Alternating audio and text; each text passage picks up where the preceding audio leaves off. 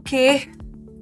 So, finally, 18th March 2024 is here. And I am here with all of you to do a recall for the questions of oral and maxillofacial surgery. Hello, everybody. I am Dr. Himani Joshi. I am the original guru for oral and maxillofacial surgery at DBMCI MDS.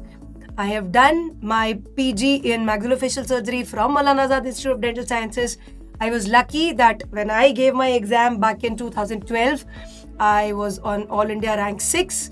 I was the Gujarat state rank 1 and my dream of you know doing oral surgery from either KGMC or MAMC uh, became true when I got PG at MAMC. And after that, I did my senior residency in maxillofacial surgery, partly from Lady Hardinge Medical College, and I completed it from AIIMS New Delhi. Continued there as a pool officer, and then resigned AIIMS Delhi for my own, uh, you know, dreams to come true.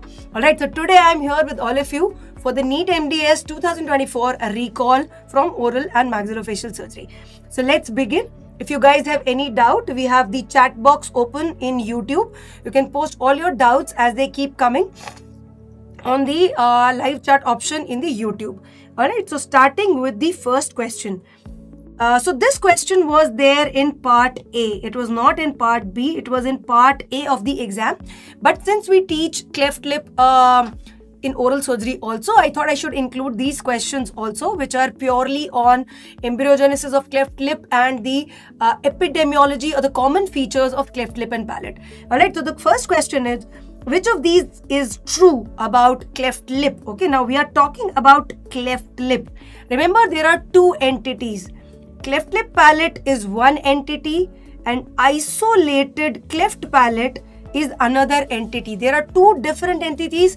They're uh, embryologically different, they are epidemiologically different, their association to syndromes, their, uh, you know, uh, uh, gender predilection, everything is different. So we are just, question is asking about cleft lip or CLP, not about isolated cleft palate. First option is it is most often associated with congenital syndrome or systemic deformity. Second option, it is more common in females. Third option, bilateral cases are more common than unilateral.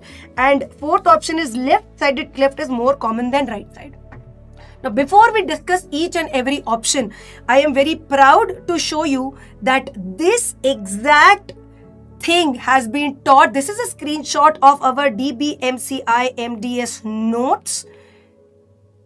Um, notes of 2023-24 and I've just taken a screenshot of our notes and we have discussed each and every point here. If I if I just enlarge these notes you will be able to see that cleft is broadly classified and in this table you will have the answer to this question. Isolated cleft lip that is what the question is asking. Males are more commonly affected than females. Left is more commonly affected than right 80% cases are unilateral only 20% are bilateral and most of the cases are sporadic. That is they do not have any genetic uh, background. They, they are not associated with any syndromes. Okay? Unlike the isolated cleft palate where Females are more commonly affected than males. They are associated with some syndrome or the other and यहाँ पर left right कुछ नहीं होता है all right so we have discuss this in our notes we have discuss this and the time stamping is telling me telling you all where in the videos at six minute and thirty seconds of the cleft chapter we have discussed about this exact topic which has come in the exam. So, I'm very happy that this question has been there. It is picked up from our notes itself. Alright. So coming back to the questions, which of these is true about cleft lip? Most often associated with congenital syndrome or deformity? No. This is a feature of isolated cleft palate that they are associated either with Stickler syndrome or DiGeorge syndrome or Van der Woude syndrome. These are the commonly associated syndromes with cleft palate. Most of the cases of cleft lip are sporadic cases.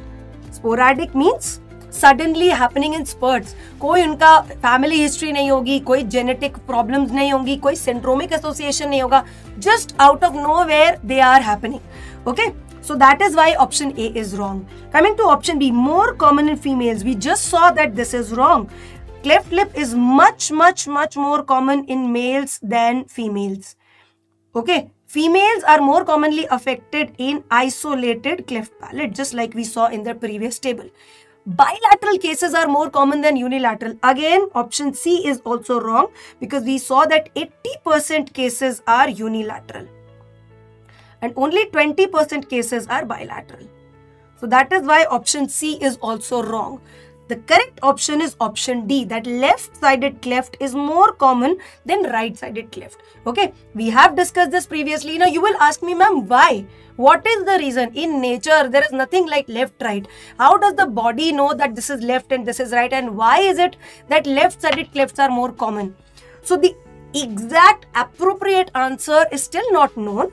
But the anatomical basis to this thing is that whenever the body is developing, whenever the left and the right side of the body is developing as an embryogenic development in the intrauterine life, the structures of the left side fuse later than the structures of the right side. That means the right side structures fuse first and the left side structures fuse next, like fuse the second. So the left side has more opportunity to develop into a deformity. Okay, the earlier everything fuses, the less is the opportunity for a cleft to develop. Alright, right side जल्दी fuse हो जाता है सो उसमें defect होने के chance कम होते हैं क्योंकि टाइमिंग ही बहुत कम है okay where as left side थोड़ा लेट फ्यूज होता है सो so, ज़्यादा टाइम मिल जाता है कोई उसमें ऑब्स्ट्रक्शन की वजह से और because of some teratogenic drugs because of some environmental cause there is more time for the left-sided cleft to happen. This is one of the most probable reasons of why left-sided clefts are much more common than the right-sided clefts. So that is the answer to this question. Left side cleft is more common. This is true about cleft lip. Alright. Now, coming to the next option. Sorry, the next question. Again, a cleft question on cleft lip. It was also in part A of the exam. Still, I am discussing this in surgery because we've been teaching this extensively in anatomy also, in embryology also, and in surgery also. A full-term child is born. Okay, why is this told to you in the exam?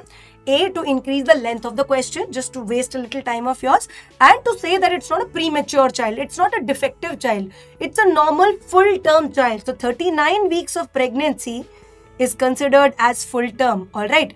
A full term child is born with a unilateral cleft lip deformity. Now the parents are very very anxious and they want to know the reason that why this has happened. What did we do wrong that this child is born with a cleft lip deformity? The, the doctors have to explain them the reason. Now, what will they explain? The embryologic embryonic basis for this defect is failure of fusion between which of these processes? Now, it's a very, very repeat question. It has been coming in the NEET exams multiple times and you all know that the answer to this question is defective fusion of the median nasal process with the lateral nasal process. Again, a direct pick from the DBMCI MDS notes of oral surgery. We have discussed this in our notes that, you know, when the face is being formed during the embryological development, the frontonasal process divides into the median nasal process, which is this green part which you see here, and the lateral nasal process, which is this purple part which you see here. So the lateral nasal process just goes up and forms the ala of the nose. Whereas this median nasal process forms the median part of the upper lip and the primary palate okay the palate which is there in front of the incisive foramen which contains the incisor teeth. All right and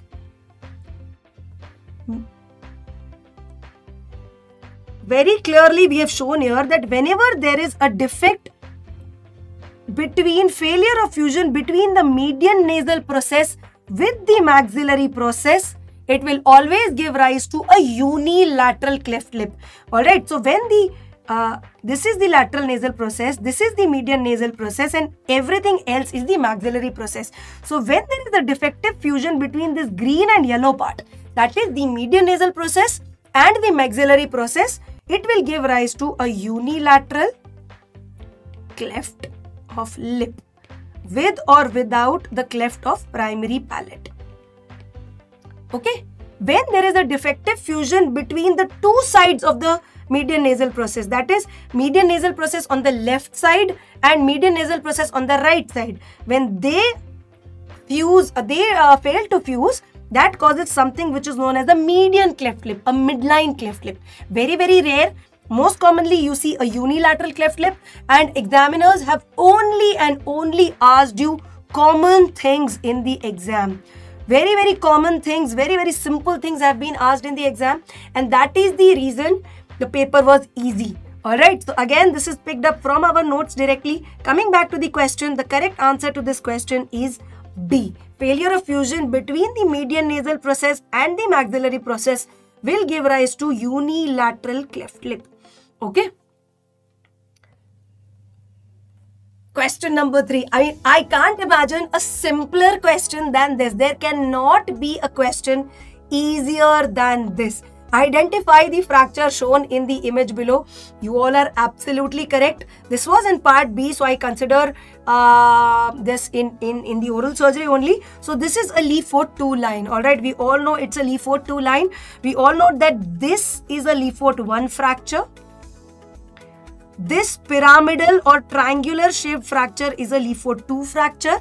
And when it is a craniomaxillary disjunction, something like this, it is a Lefort 3 fracture. So obviously the answer to this question is B Lefort 2 fracture. Alright. Again, it's a direct pick from our notes. We have very nicely discussed the Lefort classification which was given by Dr. Rene Lefort.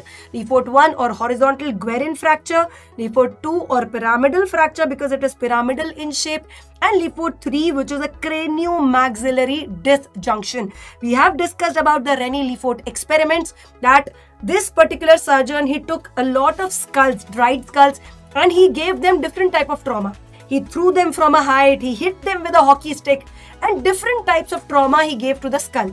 And he saw only three patterns of fracture in different combinations. Either it was a Guerin level fracture, or a pyramidal fracture, or a Lefort 3 fracture. So he called them Lefort fractures, Lefort 1, 2, or 3.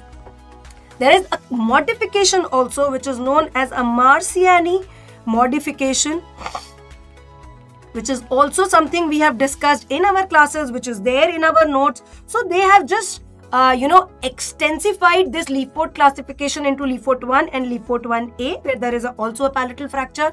Lefort 2 with the Lefort 2A and B.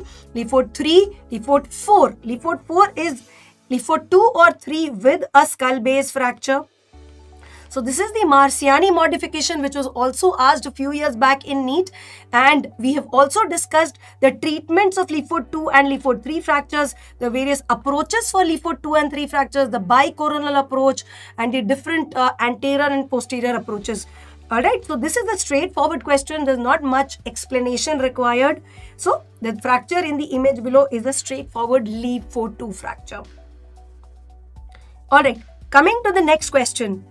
It is an incomplete question. I agree with all of you. It is an incomplete question that how much epinephrine can be administered to a patient with angina pectoris? When? In local anesthesia? In cardiac arrest? In MI? What is the situation? The examiner failed to give us a situation. There is no situation given in this question. But since we are all students of dental surgery and we all know this is related to local anesthesia, we know that we have to think in lines with local anesthesia. Okay, so how much epinephrine can be administered to a patient with angina pectoris? The correct answer is 0.036 mg. That means in around two cartridges, in two cartridges of LA, you can give 1 is to 1 lakh epinephrine. Around two cartridges you can give. Alright, so 0.036 is almost equal to 0.04 and that is the correct answer to this question. How? Why? I will just pick up the Little Falace dental management of the medically compromised patient which is we all read for the you know the the the uh, medical conditions associated with local anesthesia we have been reading this in our lectures and this is the direct line picked up from this book okay the use of vasoconstrictor in local anesthetics possesses potential problems for patients with ischemic heart disease. because of the probability of precipitating a cardiac event like tachycardias, arrhythmias, and increased blood pressure. It can even aggravate an angina into an MI. Okay, so these are basically stressors. Whenever we give any stress to the patient, it can, you know, precipitate a cardiac event. And adrenaline is kind of increasing that stress. Your surgery is kind of increasing that stress. So for that reason, local anesthetic without vasoconstrictor is preferred in patients with angina pectoris. It is preferred to use LA without adrenaline, without a vasoconstrictor. If it is really necessary to use, uh, you know, a vasoconstrictor with intermediate clinical risk factors, and those are taking non-selective beta blockers like propanolol or non so in in in patients who are taking non-selective beta blockers their hypertension will be masked. It will be a masked hypertension. You will not know that you know the stress adrenaline is causing an increase in the cardiac you know uh, events but the non-selective beta blocker will kind of hide it so in such patients you should either avoid la or if you really have to use LA, you can use up to 0.36 milligram of epinephrine. That is two cartridges of 1 is to 1 lakh epinephrine. One cartridge we all know is around 1.8 ml local anesthetic. Okay, so around 2 ml की दो cartridges you can use and total amount of epinephrine is 0.036 which is approximately equal to 0.04 milligrams. And this exact line has been picked up by the examiner when he is asking this question. So the correct answer to this question is 0.04. I am sure most of you have marked this correctly because when we are going for a Viva, when we were discussing the university questions uh, in our lectures, we usually discuss that this is an examiner's favorite question in Viva. Okay, in Viva, these is one of the favourite question that angina का patient है या M का patient है या stroke का patient है या you know any any any patient with a you know cardiac reserve is less will you give ADR और not okay you should avoid adr and if you have to give adr how much adr can you give so this is a very favorite question of examiners in viva the correct answer is 0.04 I am really disappointed, you know, honestly, with this NEET because all the oral surgery questions were so straightforward, so bang on, so direct that I don't have anything to explain much in, in this session. You know, I mean, I'm sure most of you know the answer to these questions. So calculate the Pedersen difficulty index in the image below. So in the exam, these markings are not there. This is the image that I could find from the net and the Pedersen difficulty index was asked, okay. Now again, this is a direct pick from our notes where we have discussed the Pedersen difficulty score, which is based on first the spatial relationship, whether it is mesioangular, horizontal, vertical or distoangular. Now you can all see that this image, it's a mesioangularly impacted tooth. So the score here becomes 1 plus. Then you have to see the depth, that is the highest point of the impacted tooth okay? The highest point of the impacted tooth is it above the occlusal level below the occlusal level but above the CEJ or below the CEJ so in exam it was below the CEJ it was a low occlusal level impaction which was given. All right? So the score was 3 so 1 plus 3 plus Ramus relationship. What is the Ramus relationship of this patient? Is there sufficient space? So obviously there is not sufficient space. The space is slightly less. That means if I have to, you know, take the mediolateral dimension of this tooth and if it was straight, does it have enough space to erupt into the oral cavity? No, it does not have enough space. If the space was enough, it was 1. If the space was 1 not enough, that is class 2. That means it is reduced space. So, the score will be 2 here. Okay, so the correct answer is 1 plus 3 plus 2 which is equal to 6. It's a repeat question which we have done in our PYQs, which we have done in our notes, in the question bank. In every form, we have done these questions. In the Arjuna batch sessions, everywhere we have done this question very, very nicely.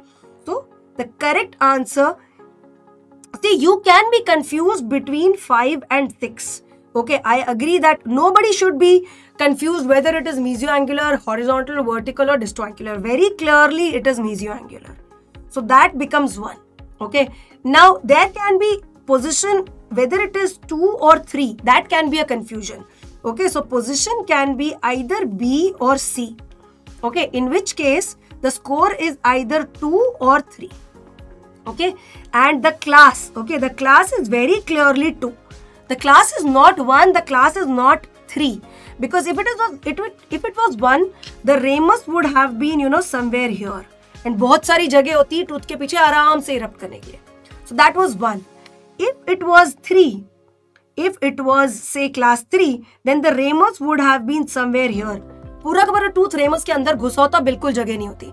So class is definitely two so one is sure two is sure so either it is three plus two or three plus three so either the score is five or the score is six and the examiner has very nicely put the options as 8, 4, so even if you are confused your confusion can only be between option 5 and option 6 and the correct option here is only option 6 there's no option 5 Alright, so the correct answer to this question becomes 6.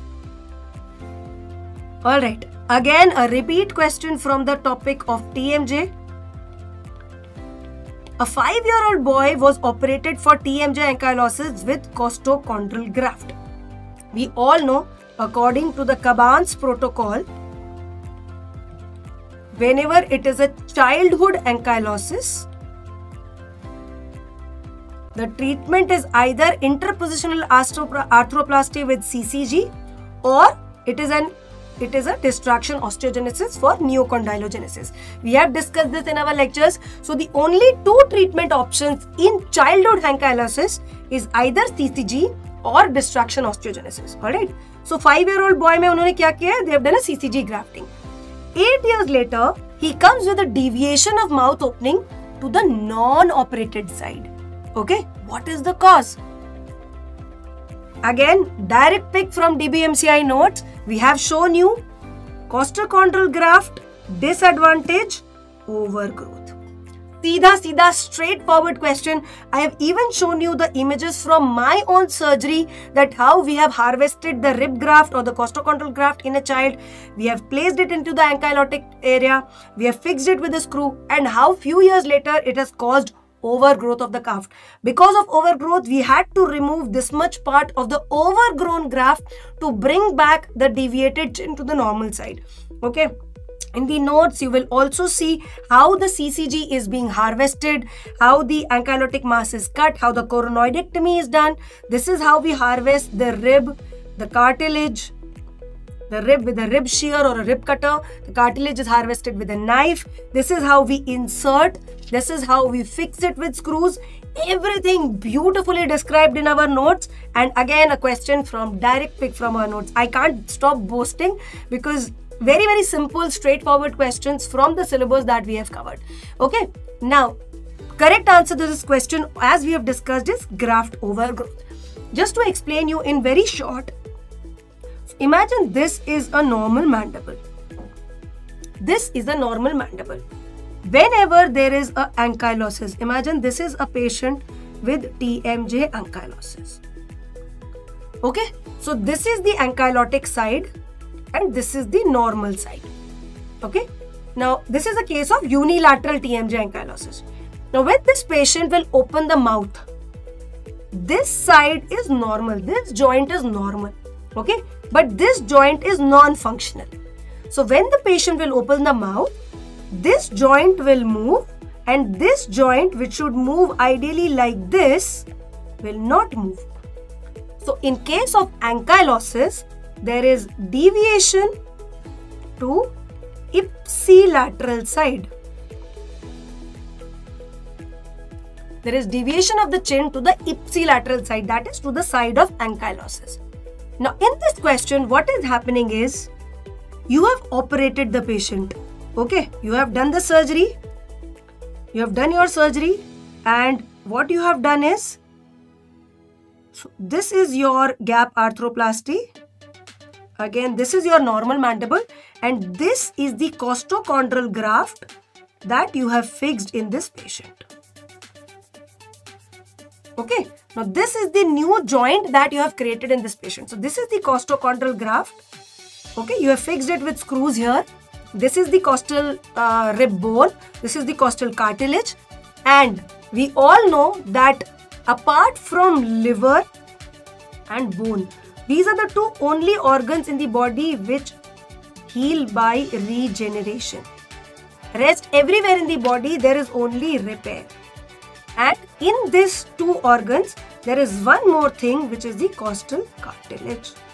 That is, the costal cartilage or the rib cartilage has the ability to grow by regeneration. So, when you harvest the rib cartilage from the rib area, the donor site also corrects itself, the donor site also regenerates, and the recipient site where you have put your rib, that also regenerates. So this costal cartilage, this red, dark red part here, that has the ability to grow. But the growth is unregulated. It has a tendency to overgrow. That is the biggest drawback or disadvantage of using a costochondral graft. Now what happens when it overgrows? Overgrows means as compared to the normal condyle, it is overgrowing. That means its length is increasing, increasing, increasing like this.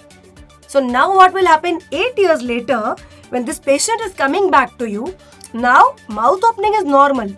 But because of this overgrown condyle, when the patient is opening his mouth, the deviation from the normal side is this much. The opening from the abnormal side or the operated side is this much. So this will cause deviation of mouth opening to the non-operated side. That means to the contralateral side.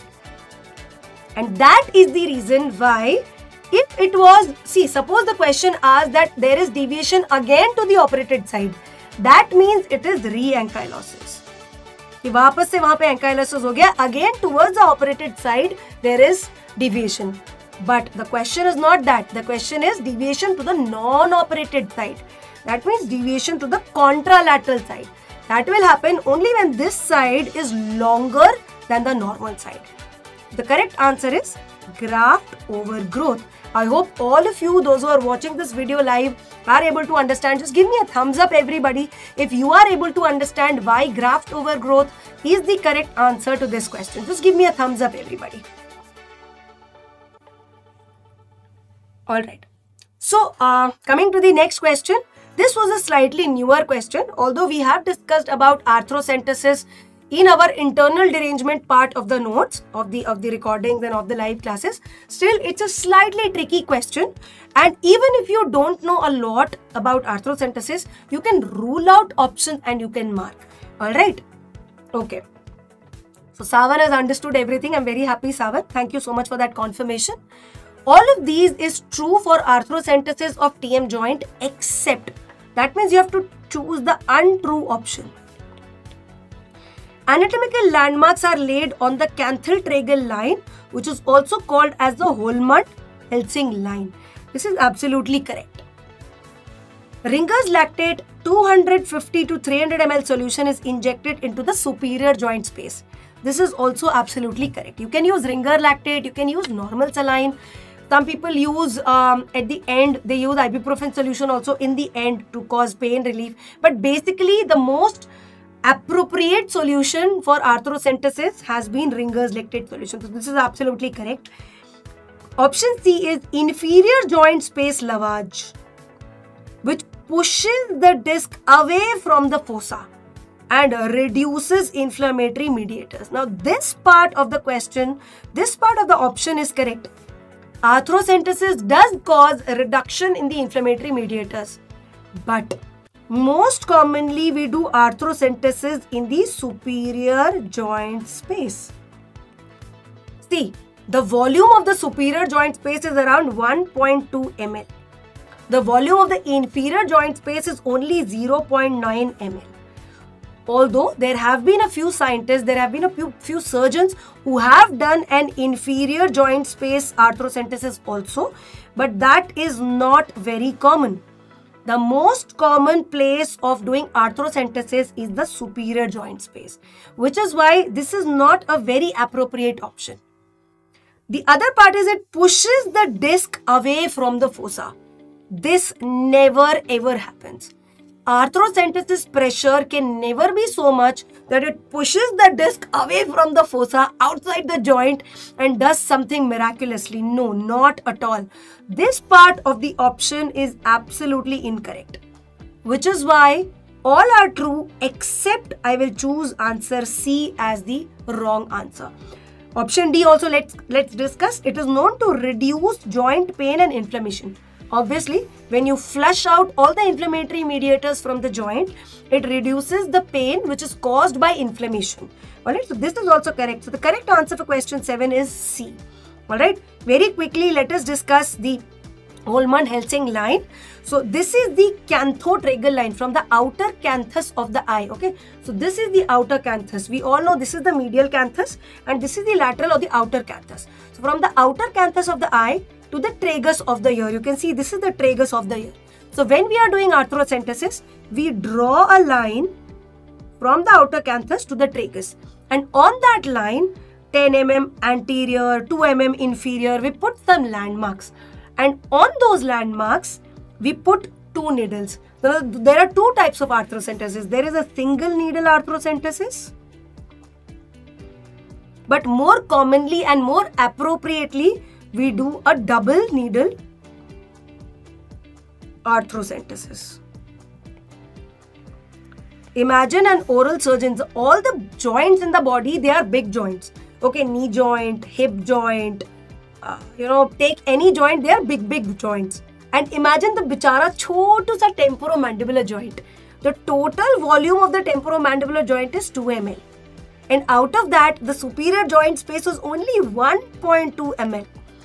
In that 1.2 ml, the oral surgeon is doing some palpations, making some landmarks and putting two needles, two wide bore needles into the superior joint space. You have to make sure that you don't puncture the skull base and enter into the glenoid fossa, enter into the cranium. You have to make sure you don't go posteriorly and enter into the external auditory meatus. You have to be very, very careful with your landmarks, very, very precise in your technique and just be there into this small little temporomandibular joint which is there which is the superior joint space here. It will be very very precise very very you know bang on. And i am very very happy whenever i am doing an arthrocentesis because it gives me a very you know god complex that wow itne chote se joint maybe we put two needles and we are do, able to do a flushing a lavage without any ultrasound guidance. Okay so basically using the landmarks on the canthotragal line we put two large bore needles. With one needle we push ringer lactate solution and with the other needle the solution comes out. What happens is in this process there is washing out of all the inflammatory mediators. As the name suggests, arthro. Arthros means joint. And centesis, centesis means lavage. Lavage or flushing out. Okay, so because of the temporomandibular disorder, because of rheumatoid arthritis, because of any problem, if there is a lot of inflammation going on in the joint, you give the opportunity some, you give the joint some opportunity to heal by flushing out all the inflammatory mediators, all the cytokines and all those painful things which are collected into the joint due to inflammation. So we do it with one needle and let the fluid out from the other needle. Then we do it with the other needle and let the fluid out come out from the other needle. So like that we lavage, we use around 200 to 300 ml solution. The best solution to do it as the question suggests is the RL solution and basically we flush out the joint. So this is about the arthrocentesis of the temporomandibular joint. Please uh, keep texting if there is any concern or keep liking uh, the stuff that you see here. Alright, coming to the next question. Identify the instrument shown in the image below. Okay. We don't use it very often in maxillofacial surgery. The place where we use this instrument is in cancer surgery. Where we have to do a resection of mandible. As soon as this exam was over, one of my students called me. I will uh, hide his face. One of the female students actually called me and said, Ma'am, on 3rd March, you have taken a morning mentorship session, and in that session, you have discussed the Gigli saw. And I was very happy that the Gigli saw has been discussed in that session, and uh, that is how the student remembered. And I, I had purchased a Gigli saw when I was a PG. I had gone to a conference in uh, one of the national conferences of oral surgery and like a young you know enthusiastic postgraduate resident i bought this Gigli saw but i wanted to you know gift it to my ot that you know ma'am use this in my in your surgeries. But uh, it is not used very often. It is mostly used when you have to do a blunt dis- blunt resection of a pathology mostly in cases of cancers when you have to do a real resection and the soft tissue also needs to be sacrificed. Because you know this is basically a barbed wire this is a barbed wire मतलब एक कांटे वाला तार है, बहुत सारे कांटे कांटे वाला तार है। And this is hook so what happens is if this is my mandible and this is अस्तल carcinoma or this is a mandible or you know carcinoma which is need to be resected I will put my Gigli saw lingually buccally the wire I will put lingually buccally I will hold it with my handle and जुप जुप जुप in 4 or 5 seconds I will be able to resect the mandible. Similarly, I will do the same thing on the other side. So very quickly, instead of using a burr and slowly, slowly, slowly cutting through the whole mandible or using a piezoelectric which is even slower or using a oscillating saw which is also slow, this Gigli saw is very quickly like just zoop, zoop, zoop and you can cut the whole mandible, resect the mandible. Obviously, you can't use it in maxilla, you can't use it in midface. It is mainly for the mandible for the resection cases. And uh, I'd shown this Gigli saw in the morning mentorship session. So I'm sure most of you know it is the Gigli saw. Alright, so this image is the Gigli saw. Okay, coming to the next question. Systemic toxicity of LA is best described as. Now, we all know this has been again discussed in our uh, notes but instead of showing you the notes i'm actually showing you the phenomenon. Okay what happens? What is the cns effect of lignocaine or any amide local anesthetic which is commonly used in the dental practice? So this is our normal brain. Okay this is our normal brain. In our normal brain the facilitatory impulse, that means which will cause excitation, and the inhibitory impulse, which will cause CNS depression, they are almost equal. Okay, they are rather they are equal. Now, in the initial uh, stages, in the very low dose, in very low dose, and remember we are talking about the systemic effects. Systemic effect means when you have given lignocaine intravenously. That means either you have given intravenous lignocaine or you have given excessive lignocaine which has gone into the circulation. Only then it will cause the systemic effects. Till lignocaine is there in the peripheral tissue, it will never cause systemic effects. When it starts going into the circulation, it will start having systemic effects. So at very low doses, it will have an anti-convulsant effect. Okay, it will have an anti-convulsant effect. That means it is used as a anti-convulsant drug which is very very good. Okay, as the dose increases, now there is convulsant effect. What is convulsion? Convulsion means seizure. Convulsion means fit or seizure. Okay, at very low doses, when the lignocaine is there in the circulation, it is a good thing. We give it as an anticonvulsant effect. When the dose slightly increases, there is a seizure effect. There is a CNS stimulation causing seizure. See, the inhibitory impulse is getting thinner. When there is a moderate overdose, the inhibitory impulse gets thinner. So this is the pre-convulsant stage. This is a pre-convulsant. That is just before convulsion, inhibitory impulse कम हो गई है, excitatory या facilitatory impulse बढ़ गई है. Yeah, that is normal. Excitatory impulse is normal, but inhibitory impulse has gone thinner. When the dose even further increases, the inhibitory impulse is completely cut off. There is only facilitatory impulse causing increased triggering, which is known as seizure or convulsion. So, in moderate to severe overdose, there is convulsion. And when that dose is also exceeded, when there is a severe, severe overdose, ये तो पहले inhibit हो चुका है the facilitatory impulse is also gone. Okay, first the inhibitory impulse gets thinner, then the inhibitory impulse is gone, which causes seizure. Later, the excitatory impulse is also gone. So, this causes a generalized CNS depression. Okay, if I have to pick up lines from Malamed, so at higher or the convulsive blood levels, the inhibitory function is entirely depressed Okay. After that, what happens? Pure facilitatory input without inhibitions produces a tonic clonic activity, which is known as a tonic clonic seizure or convulsion. Okay. Further, if further there is an increase in the anesthetic, oh, sorry,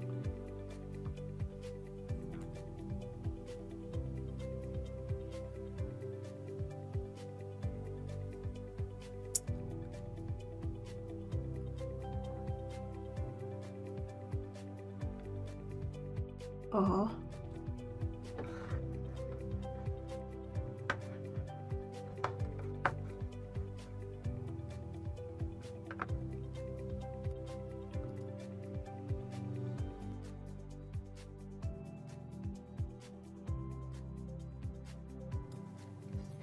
Further, if there is a further increase in anesthetic blood level, it will lead to depression of the facilitatory as well as the inhibitory pathways producing a generalized CNS depression.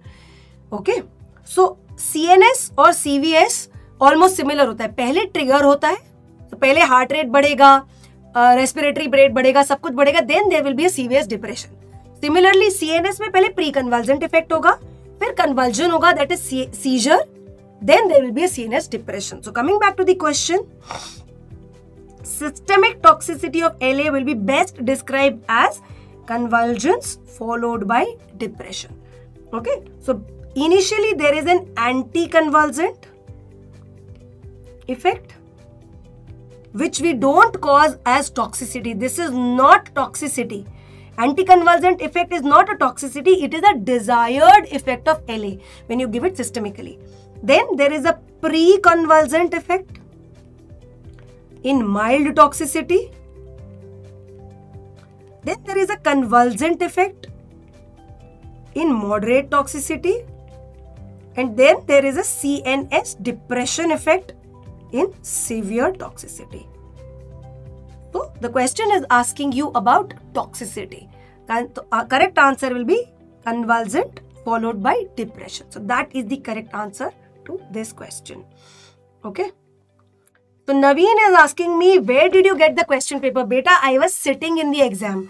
Every year I take this exam. It is not compulsory for me. But you know, मुझे satisfaction ही नहीं होता है unless I sit in the exam and take my questions of oral surgery. Every year I go to the exam. I take the questions of oral surgery myself so that I know what is the exact language of the question, what is the exact, what is that examiner is asking us and uh, what is it that you know you should know every year I take my own questions and I also help with the other subject recall. So that's where I get the questions. All right. So I, I hope you agree with me that this was the exact question. Please clarify it post depression consultation or vice versa. First, just remember this flow chart. Just remember this flow chart. First, anticonvulsant effect, which we don't call as toxicity. Second is pre-convulsant effect. Third is convulsant effect. And four is the CNS complete depression. Okay, till convulsion, it is known as excitation. And then it is known as depression. So I hope that answers your question, MDS aspirant.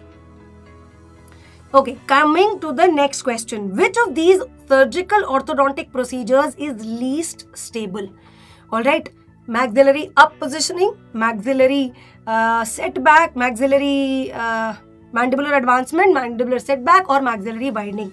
Coming to the stability of orthognathic surgery, again a direct pick from our notes, direct pick from our lectures. We have discussed the stability of orthognathic surgeries very, very nicely. So, whenever there is a gap between bones, whenever the surgery causes a gap between the bones, it will always be less stable. Remember this funda. Whenever there is a gap, even if you put bone graft, even if you do anything, whenever there is a gap, it will always be less stable. Okay, so maxillary impaction मतलब maxilla को mid face में घुसा दिया है very very stable. Mandibular advancement, there is a good overlap when you do BSSO, very stable. Chin, obviously there is always an overlap with other bone, very very stable. So these three surgeries are the most stable surgeries. Whereas problematic surgeries, mandibular setback, although there is a good overlap, but what is the reason for the mandibular setback to be unstable? Pterygo, masseteric, Ling. We have discussed this multiple times in our lectures, in our TND, in our, uh, you know, rapid revision, everywhere. Pterygomasseteric sling. What is pterygomasseteric sling? Mandible, angle. Buccally, there is masseter. Medially, there is medial pterygoid. And at the angle, okay, so if I have to draw it here,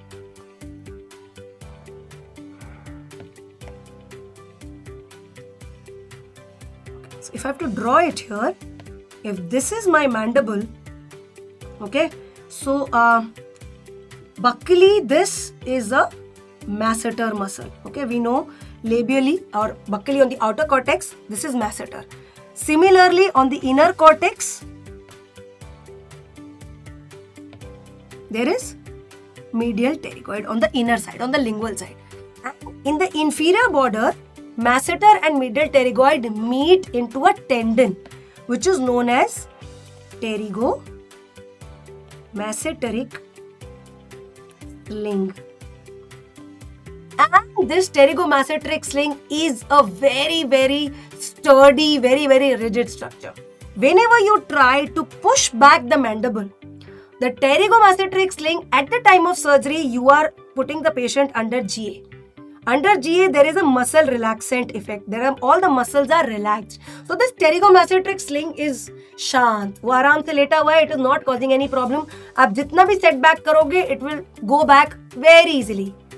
As soon as the patient comes out of GA, as soon as the muscle relaxant effect is gone, the muscle tone comes back, the pterygomasseteric sling will push your distal segment back into its original position causing a relapse in your orthognathic surgery.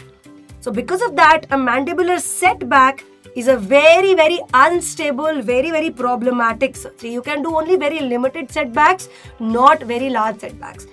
Similarly, maxillary down fracture and maxillary widening. When you cause maxillary down fracture, you are basically separating the maxilla from the rest of the midface. It is basically creating a gap between the maxilla and the rest of the midface.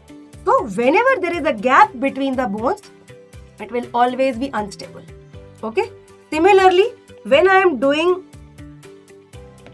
a orthognathic surgery for maxillary widening, that means I am doing my Le Fort one. I am splitting my maxilla into half and I am taking the two parts of maxilla left and right. What is happening? Basically, I am creating a gap in the midline. So whenever there is a gap, the surgery will always be unstable. After the surgery, the segments will collapse. So mandibular setback because of pterygomasseteric sling, maxillary down fracture and maxillary widening. These are the least stable orthognathic surgeries and that is what is asked in the exam. Mandibular maxillary superior positioning वहाँ तो impaction हो रहा है कोई problem ही नहीं है mandibular advancement वहाँ पे भी आ, कोई प्रॉब्लम नहीं क्योंकि अच्छा ओवरलैप है। Mandibular setback yes that is also an unstable surgery but if you have to compare between mandibular setback and maxillary widening the least stable remember in exam you have to choose the best option you always have to choose the best option so option C and D are close the best option is always maxillary widening that is why whenever you have to do a maxillary widening after growth completion, we do something which is known as a SARPE. What is SARPE? Surgically assisted rapid palatal expansion. We always do a SARPE which is a surgically assisted rapid palatal expansion. So if this is my palate I have done a Le Fort one. I've cut my maxilla from here. I have also split my palate into two parts. Now, instead of surgically taking the two parts apart, I will fix a distractor here. I will fix a Hyrax kind of a distractor here. And slowly, slowly, I will turn the distractor and slowly, slowly, I will take the two bones apart. So that there is no gap. Instead of a gap, there is distraction, osteogenesis, there is new bone formation. And along with bone, all the soft tissues will also regenerate. They will form new soft tissues. So that is a more stable procedure instead of direct surgical maxillary widening. Alright, so the correct answer to question number 10 is maxillary widening. Okay. Coming to next question again, very very easy question. 23 year old boy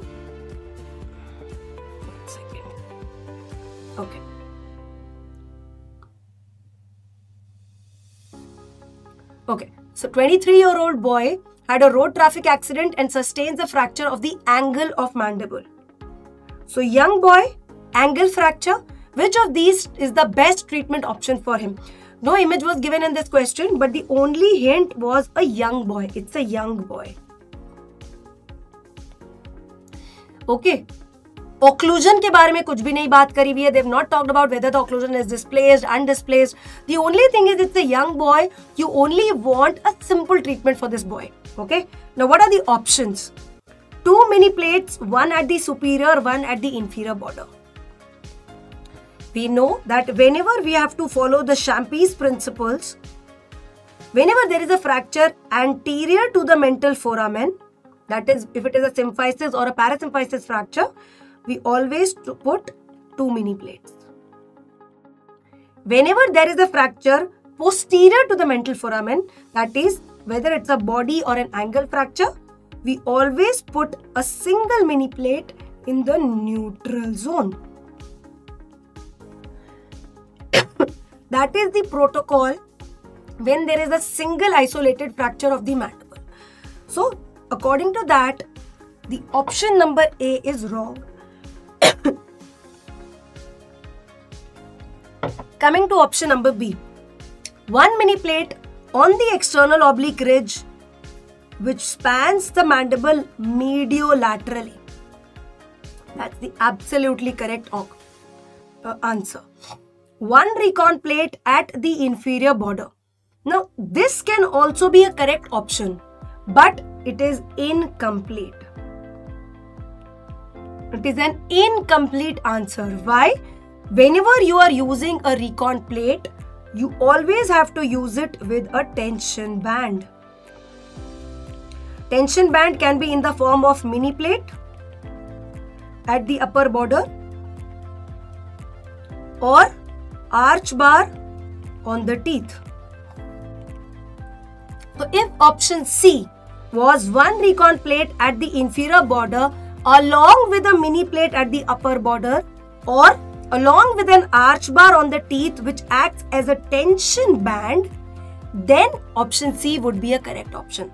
Option C is an incomplete option. That is why it is wrong. Okay. Okay. If deranged occlusion was there in the exam, still if the occlusion is deranged, still the answer will not change. Even if you are bringing the occlusion back to its position, one recon plate between the superior and inferior border is absolutely wrong. You can only put recon plate on the inferior border because recon plate uses bicortical screws. And bicortical screws cannot be used in the middle because it can cause injury to the inferior alveolar neurovascular bundle. It can cause injury to the tooth roots. For this reason, this is also a wrong option. The correct option is one mini plate on the external oblique ridge mediolaterally. Very happy to say that this is also picked up directly from our notes, from our DBMCI notes, where we have discussed the body and angle fracture. If you follow the Champy's principle, single mini plate at the neutral zone. You can see here there is a single mini plate at the angle fracture from on the external oblique ridge going from lateral to the medial. So basically we use the S-shaped or the propeller shaped plate. Okay, we have discussed this in our lectures. We've also discussed the various approaches. We've also discussed the special instrument which is the transbuccal trocar cannula which we use in especially in cases of angle fractures. Okay, so we've discussed everything about angle fracture in great depth. Alright, so again a direct pick from our notes and the correct answer to this question is one mini plate on the external oblique ridge mediolaterally. Okay, this is also a repeat question. Even if the occlusion is deranged, first you will do an IMF to bring the occlusion to correct position. Then you will put the plate. After putting the plate, you can release the IMF. So that is the complete treatment for this patient okay so that's the so IMF is done in all these cases. Whenever you are doing an ORIF whenever you are doing an open reduction internal fixation whether you are using mini plate whether you are using recon plate whatever you are using the first step is always to do an IMF whether the occlusion is deranged whether the occlusion is not deranged. The purpose of IMF is to stabilize the occlusion. If it is deranged, you will correct the occlusion and then do the IMF.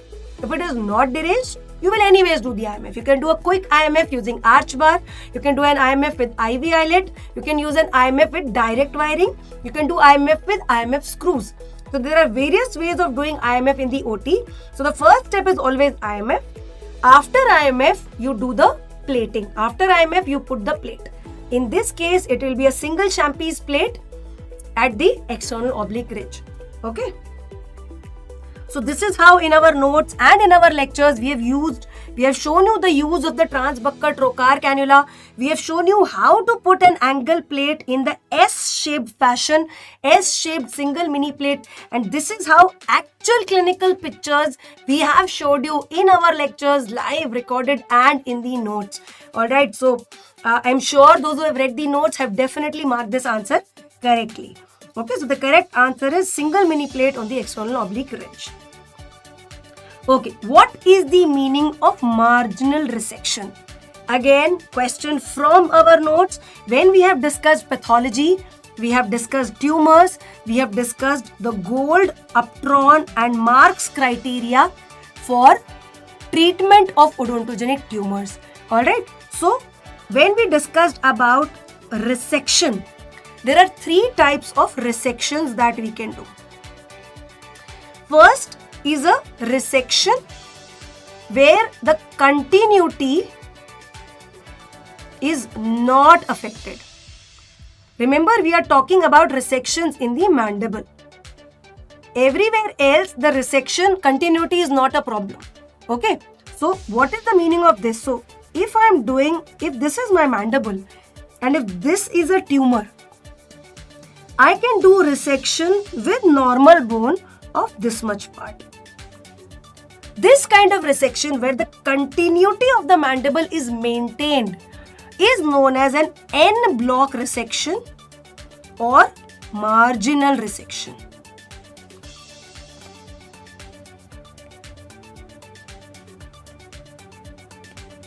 Okay.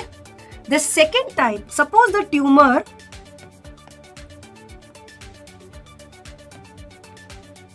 Suppose a tumor is like this. So for this resection, I have to remove the whole segment of mandible. Okay?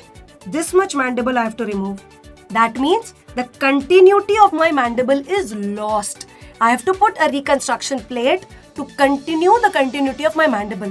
This kind of resection is known as a discontinuity defect or a defect which causes a continuity problem which is known as a segmental resection. Okay. And the third type of resection, suppose the tumor has caused involvement of whole one side of mandible. So in that case, I will remove the mandible along with the joint, along with the condyle. Okay, when you remove the condyle, that means you are actually removing the joint. Okay, joint is known as articulation. And this kind of resection is known as a disarticulation resection. Okay, which is the hemimandibulectomy or total mandibulectomy if you're doing it on both the sides. Okay, so we have discussed this before. Again, it is from our notes. What is the meaning of marginal resection? Marginal resection means when you are preserving the margins of mandible. En bloc or marginal resection. Only the marginal part of the tumor is removed.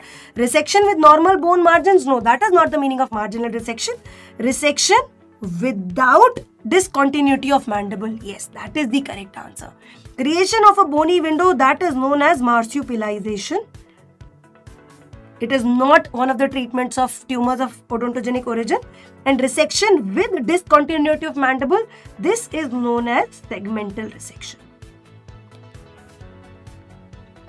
Okay, so that is the correct answer resection without discontinuity of mandible.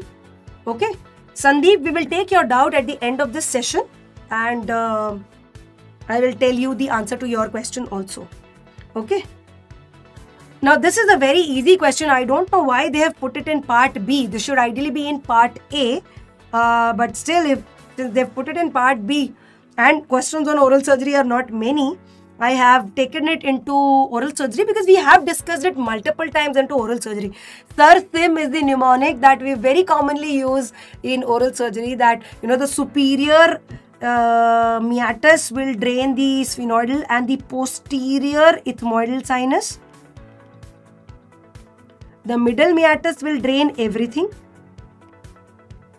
and the inferior meatus will drain the nasolacrimal duct.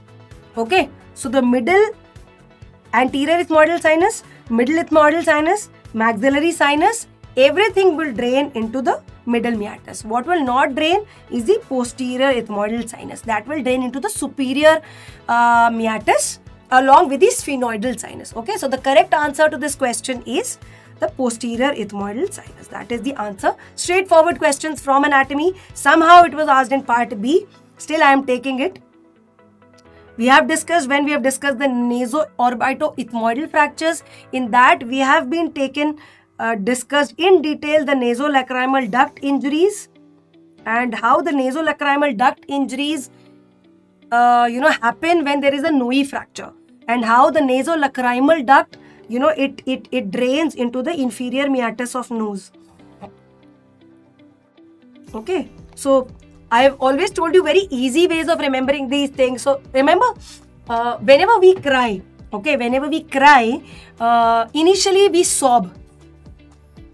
हम ऐसे रोते हैं तो हम ऐसे sob करते हैं ना girls usually sob a lot so what happens is whatever tear is being produced whatever tear so if this is my eye okay you know this is my lacrimal gland from the lacrimal gland all the tear will be coming and it will be collecting through the canaliculi into the lacrimal sac.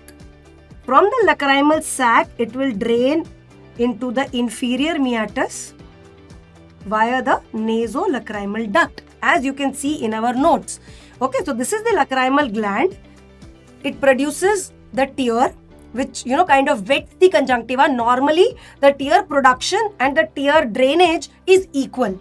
Okay, so it is collected by the canaliculi into the lacrimal sac. It goes into the nasolacrimal duct and it drains into the inferior meatus of nose. Okay, now when the tear production is high and drainage is low, and nose ka we know the natural drainage of nose is posteriorly. So we do so that जो भी tear हमारे nose में आ रहा है उसको हम अंदर लेके जा सके so through the post nasal drip we take it into our नेजोफैरिंग्स okay so whenever tier secretion is more than tear ability of the tears to drain it causes watering of the eye. So in cases of Noe fracture, when there is an injury to the nasolacrimal duct, the tear will not drain through the NLD, it will drain through the eye, even when the patient is not crying. And this is known as epiphora. This is known as crocodile tears or epiphora. That means the patient is not crying, still the eyes are watering. Okay, so all these concepts we have discussed in much detail when we are doing the Noe fractures and the drainage of various uh, you know, maxillary, sphenoidal, ethmoidal, and uh, frontal sinuses we have done in our lectures very, very nicely. Okay, so the correct answer is posterior ethmoidal sinus. Alright, yes, Sir Sim, we've already discussed Sir Sim. So this brings us to the end of oral surgery recall, we will quickly take your uh, doubts. So Sandeep is asking me, how can we put a plate in the medial and lateral direction? We can put a plate just like we do a third molar removal. Okay, so when we do a third molar removal, if this is my second molar, I will do a wards incision. Okay, so I will put a crestal incision like this a triangular flap and distally also I will give a releasing incision. So I will open a trapezoidal flap. When I open my trapezoidal flap, in this region I will slightly reflect the lingual tissues also. Okay. I can very easily adapt the plate in a S fashion like this. So two screws will go on the buccal side, two screws will go on the lingual side. Now you correct that it is very very difficult to place the screw on the superior ascending ramus and to place the screw on the lingual border. That is why we use a special instrument for this purpose to help us in putting those superior screws, in putting those medial screws or the superior screws. And that instrument is known as a transbuccal trocar and cannula. That is known as a transbuccal trocar and cannula. Okay, so that is with the help of this instrument, we can put the plate in a S fashion, both buccally. So most of the screws are buccally, but one or two screws go into the ascending ramus and into the medial side also. That is why, that is how this plate is able to resist the forces of tension as well as the forces of torsion. That is why we put this propeller or S-shaped plate in the angle region. Okay. Um, okay, I am a little fast. Somebody saying that I'm a little fast. Uh, maybe because I was there at the exam hall on time. I recently started fasting on Mondays, so I'm fasting. And maybe because I'm very, very excited to see the oral surgery questions uh, because they were very easy questions. And two kids are waiting for me at home. So maybe because of all these compounded reasons, I'm doing this recall a little fast but I hope you've understood everything and we are still open to doubts. If anybody of you has any doubt, you can still ask me. I will explain everything again. And if you have doubt in concepts, then conceptually, to understand everything conceptually, you should go back to the video. Still, if you've got any doubts, uh, you guys can just message me your doubts and everything on the on the YouTube page and we'll take your doubts again. I hope this exam gives you a lot of hope. Very soon the results will be out. Today is a day to chill. Just relax and chill. Okay, today and tomorrow just chill, eat something good and uh, sleep well and दुनिया को देखेंगे परसों से okay so all the best everybody uh, this is me signing off from oral surgery good night everyone you can leave your feedbacks also on the on the YouTube session, okay?